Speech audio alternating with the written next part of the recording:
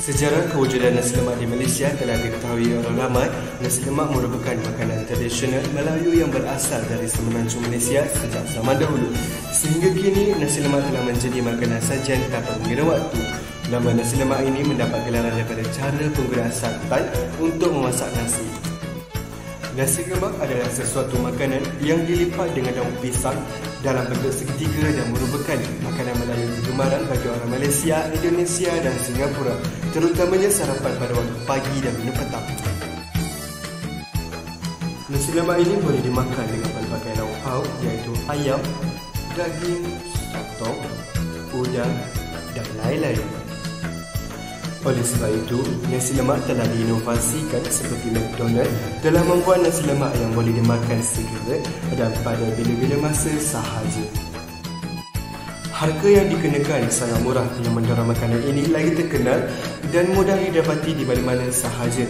Biasanya harga semasa nasi lemak ialah dalam lingkungan RM1 hingga RM6 satu bungkus dan secara tradisionalnya di dalam bungkusan nasi lemak terdapat timun, ikan bilis, kacang goreng, telur rebus, sambal dan lauk pauk yang dipilih.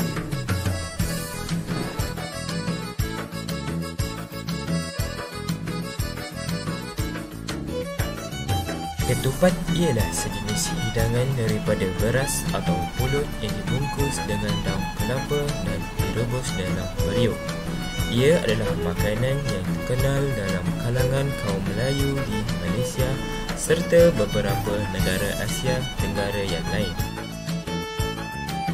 Ketupat biasanya dihidangkan semasa hari raya sahaja iaitu pada hari raya puasa dan hari raya haji.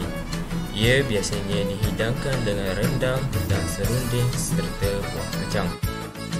Namun kini, ketupat senang untuk didapati kerana mendapat permintaan yang tinggi dalam kalangan masyarakat tempatan walaupun bukan pada hari perayaan sahaja. Sebagai contoh, ia dihidangkan dengan sate di gerai-gerai serta restoran seperti Sate Haji Samuri di Kajang. Antara contoh-contoh ketupat adalah ketupat pulut hitam, ketupat palas, ketupat segera atau nasi himpit dan ketupat serunding.